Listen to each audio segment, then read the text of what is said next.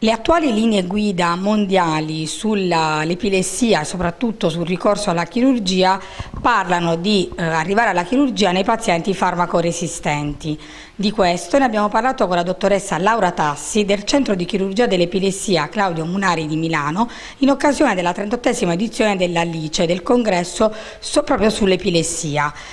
Allora dottoressa, Mm, proprio la sua relazione verte su, questa, eh, su queste linee guida eh, e sui pazienti farmacoresistenti. Ecco, ci dica meglio come viene definita questa farmacoresistenza e cosa dicono le attuali linee guida?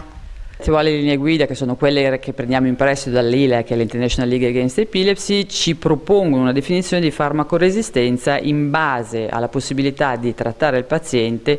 che se viene a mancare dopo i due farmaci che vengono utilizzati in modo ovviamente dipendendo dalla sindrome epilettica da cui il paziente è affetto, se questi due farmaci falliscono il paziente a questo punto può essere definito farmaco resistente. In teoria c'è anche un timing, nel senso che oltre i due anni non si dovrebbe andare per provare questa farmacoresistenza, dopodiché se il paziente è affetto da un'epilessia focale dovrebbe essere posta l'indicazione all'intervento chirurgico, quando ovviamente questo è possibile.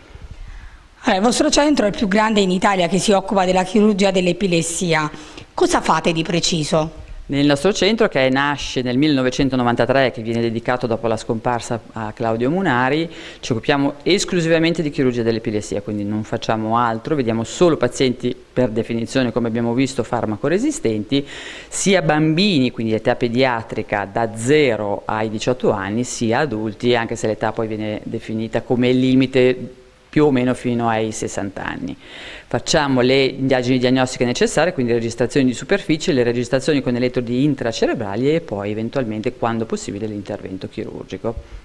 Non ho citato il vostro centro diciamo, a caso durante l'intervista proprio perché ehm, parlando di eh, linee guida avete una proposta per la nuova revisione. Di cosa si tratta? La nostra proposta è quella di anticipare il più possibile l'intervento chirurgico e addirittura di proporlo in sede di prima diagnosi, quindi nei pazienti in cui si fa una definizione di un'epilessia sintomatica, quindi legata alla presenza di una lesione anatomica, proporre l'intervento addirittura prima, se possibile, di instaurare la terapia antiepilettica. Questo perché i dati dimostrano che prima si fa l'intervento, minore è il tempo di malattia, quindi ovviamente minore è l'ingombro sociale che questa malattia per definizione cronica porta al paziente, minore è il tempo passato con farmaci antiepilettici, ma soprattutto la probabilità di guarigione aumenta enormemente e questo è importantissimo soprattutto in età pediatrica. Eh, ci sono dei fattori prognostici che possono aiutarvi nel distinguere il paziente farmaco resistente da sottoporre poi magari a chirurgia? Sono anni che ci dibattiamo in questo tentativo di capire quando vediamo il paziente la prima volta se effettivamente possiamo dare una prognosi, quindi possiamo dire al paziente se in futuro la terapia sarà in grado di coprirlo o meno. In realtà ci sono migliaia, penso, di lavori scientifici che cercano di trarre delle conclusioni, forse l'unica variabile che effettivamente ci porta in anticipo a pensare che il paziente potrà essere farmacoresistente è la presenza di una lesione cerebrale.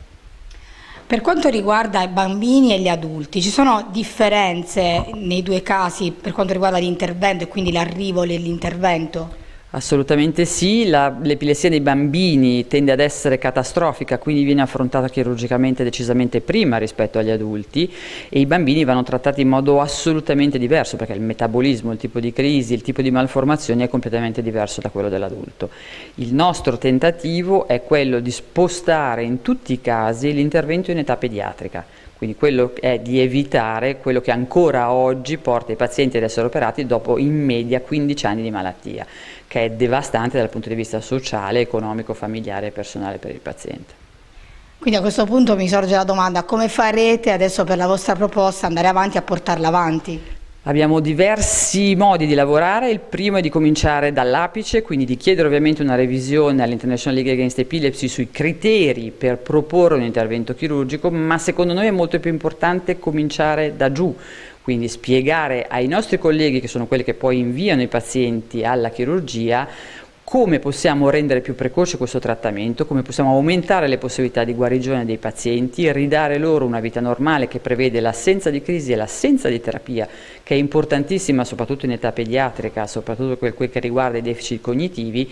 decidendo di inviare il paziente ancora prima di aver cominciato una terapia antiepilettica, comunque per una valutazione chirurgica. Poi sarà il paziente e la famiglia ovviamente a decidere la strada da intraprendere, ma il cammino che desideriamo fare insieme ai nostri colleghi è proprio questo, anche perché i risultati effettivamente ci confermano che sarebbe il cammino migliore per questo tipo di pazienti.